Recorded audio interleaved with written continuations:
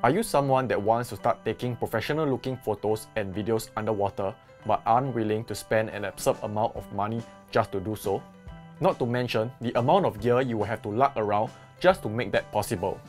Well, you're in luck because with Hot Dive's H2 Pro underwater housing, you're now able to use your mobile phone to do that and more. If you're new to the channel, do consider subscribing to show some support and for more of such videos in the future.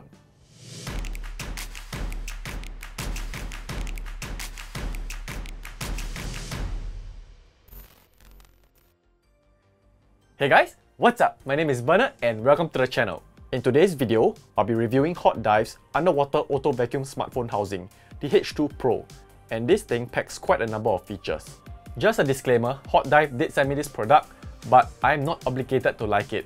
My thoughts will not be influenced in any way, and with the disclaimer out of the way, let's test it out. The first thing I absolutely love about this product is that it is universal. You are able to use any phone within the size of 168 times 84 times 10 mm. That means that this product is future proof and you're most likely still able to use it even when you change your phone in the future. Okay, so the obvious benefit of being able to bring your phone into the water is to capture photos and videos. So let's talk about how it performs in that regards. You will have to operate your camera through Hot Dive's app and I would say that it is decent and gets the job done. One of the benefits of using their app is that you can gain more control over your camera settings like manual exposure and white balance. It is pretty cool that they allow you to do that and that is a feature you usually have to pay for on other apps. One thing that is unfortunate is that you won't be able to change your video frame rate in the middle of a dive. You have to pre-select it in your camera settings just like the iPhone's default camera app. However, you are still able to select your resolution settings through the app, which is much more important to me. The next feature I want to talk about is something I find truly amazing and it is the built-in dive computer. Of course, this is found only on the Pro model and it costs an additional $50 USD and it's well worth it in my opinion. A traditional dive com can cost between 300 to $1,000, so by buying this housing, you're essentially getting a free dive com. On top of that, it even has an underwater compass which my dive com doesn't even have. Since we are on the topic of price, let me tell you how much this dive com would cost. The Pro model you see here is 349 USD and the regular one is 299 USD. You also have the option to add on lenses, but unfortunately, I don't have them with me to try out. If you take into consideration of how much you have to spend on a camera, an underwater housing for it, and a dive com, you're looking at spending over $10,000. This phone housing is starting to look like a pretty good deal doesn't it? But that's not all, I still have more features to go through with you. The next feature I want to talk about is the built-in automatic vacuum pump system and I'm really impressed with it. My expensive underwater housing also has a vacuum pump system, but the word to describe that is primitive. For the H2 Pro, all you have to do is hold a button and the housing pumps the air out automatically. The best part is that the housing stays vacuum sealed even during the dive, which the same can't be said for my $1,000 housing. The benefit of it is that you can be sure there won't be a leakage and that your housing won't fog up in the middle of a dive. The other thing this housing comes with is a built-in light.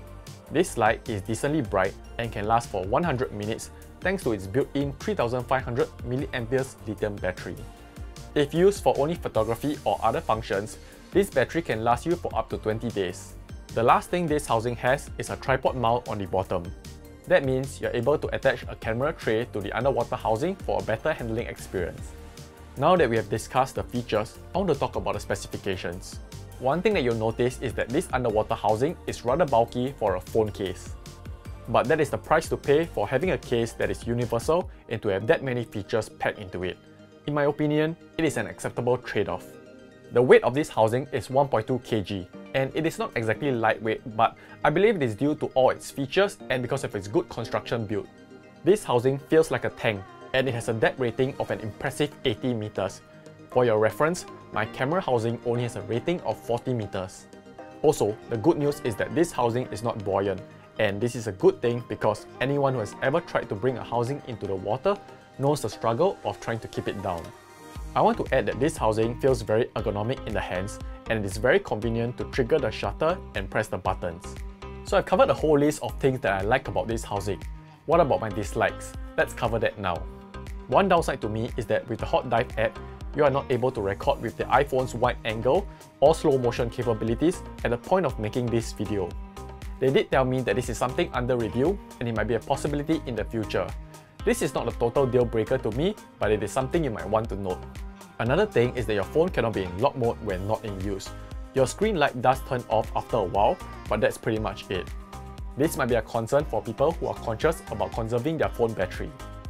Originally, I was more concerned about my phone overheating, being in a case and switched on for extended periods of time, but after my experience with it, I don't think it'll be a huge problem. The third thing I want to discuss is not exactly a downside, but more of something that you should be clear about. This is an underwater housing to utilize the phone camera and divecom features. It is not exactly a regular waterproof case for your phone. What I mean by this is that you will not have control to other aspects of your phone apart from the Hot Dive app.